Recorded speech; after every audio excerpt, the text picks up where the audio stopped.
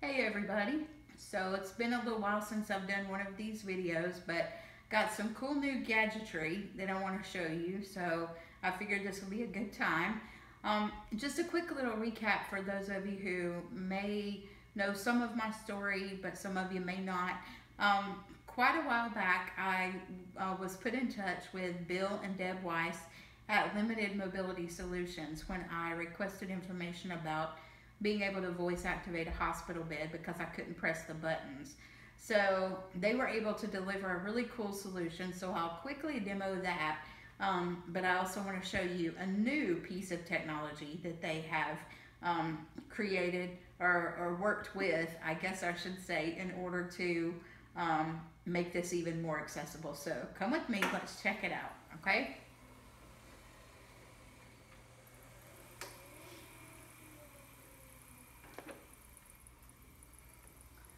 All right, so as you can see here, I have just your typical hospital bed um, that is made for home use.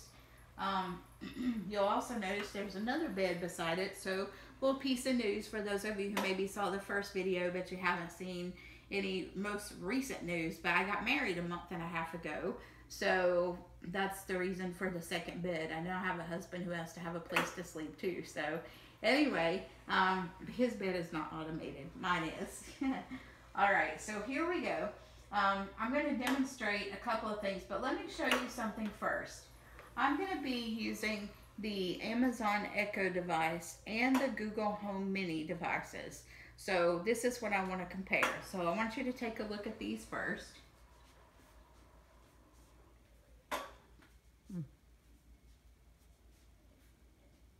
Okay.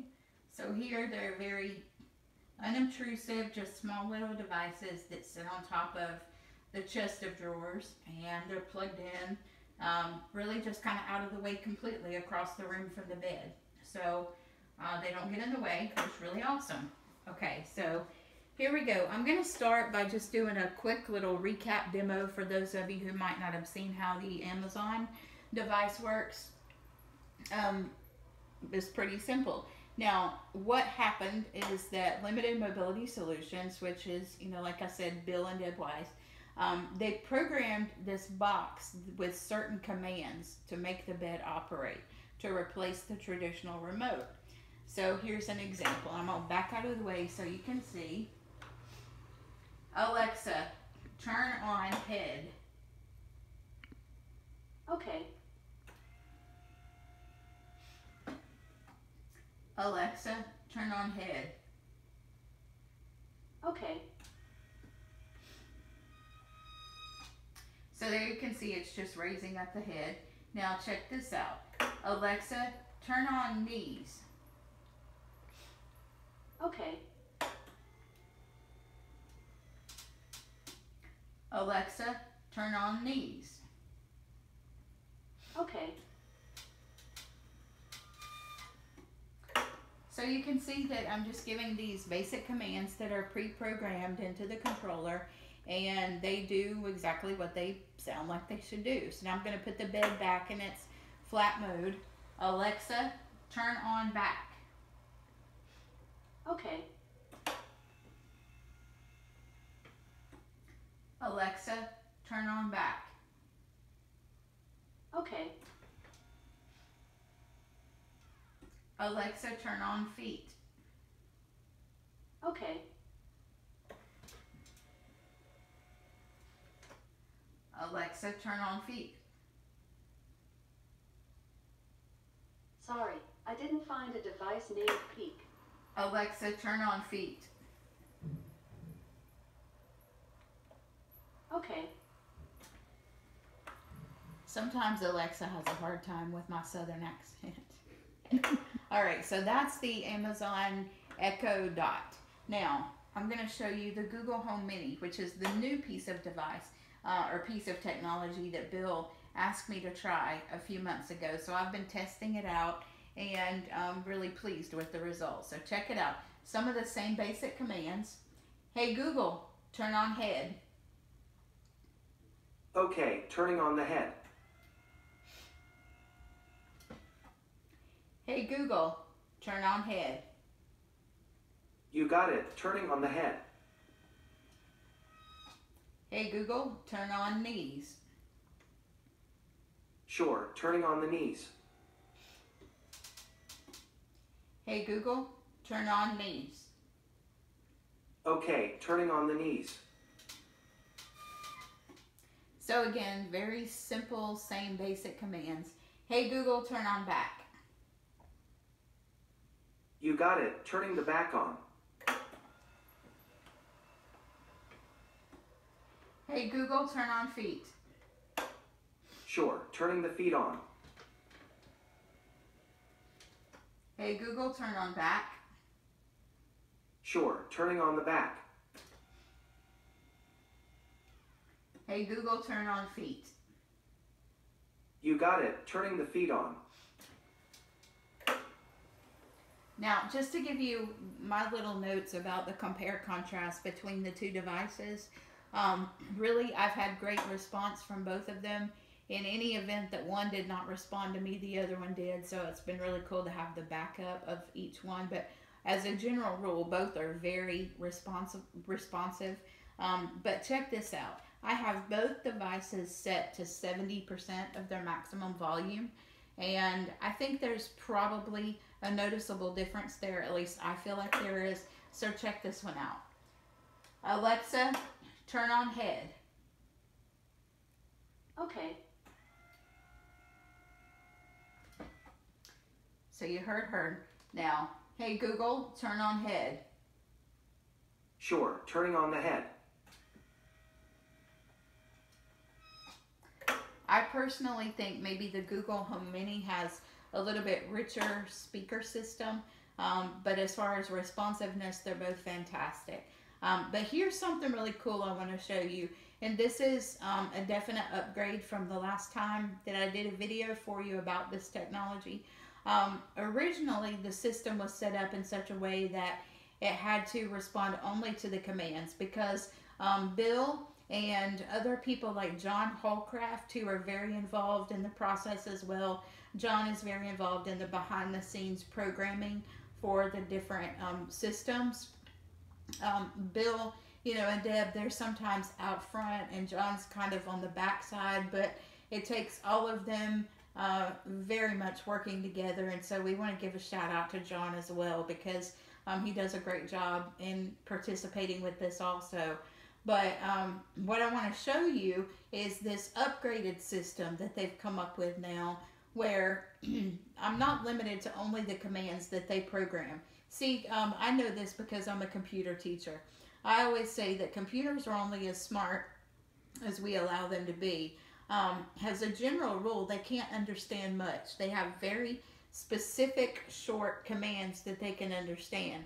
And it's our ability to um, mix and match those commands, for lack of a better way to say it, uh, that makes us let them do more complicated things. So when they originally started out, they had to work with just what they had. And it was simple commands like turn on head, turn on feet. And that's what's programmed into the system. However, with this upgraded um, software that they've created, now we can actually use routines that are built into um, the Alexa app and the Google Home app in order to do things a little more complicated. So check this out. If I don't want to say turn on knees to put my legs up, I don't have to anymore. I can make up my own commands right here from my own home. So check this out. Alexa, raise legs. Okay.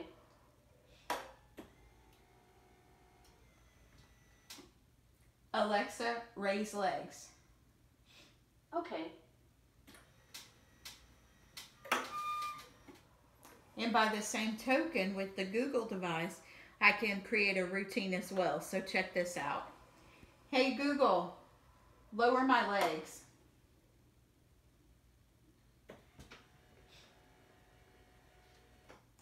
Hey Google, raise head. My apologies. I hmm. don't understand. I forgot I didn't program that one yet. Hey Google, lower my legs.